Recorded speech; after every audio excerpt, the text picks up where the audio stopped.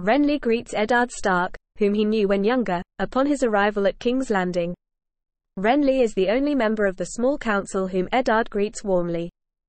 Renly agrees with Eddard's assessment that his brother Robert's profligate spending is damaging the realm.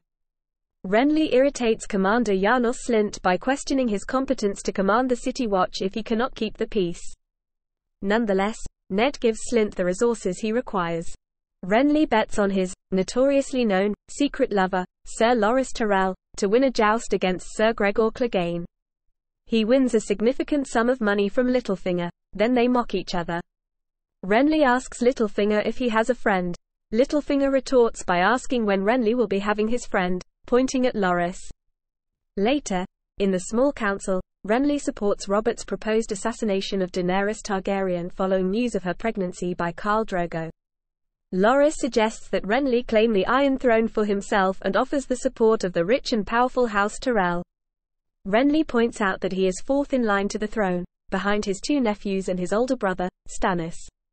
Loras counters that Robert claimed the throne through strength of arms alone and asserts that the realm will not follow Joffrey because he is a monster, Tommen because he is too young, or Stannis who has the personality of a lobster.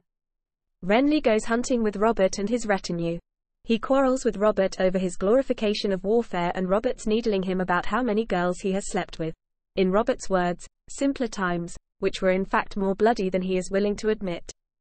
Renly calls him a fool and remarks that the past had its share of violence that Robert is conveniently ignoring. Renly storms off, leaving Sir Barristan to look on concerned, as Lancel keeps up King Robert's wine supply on Cersei's orders.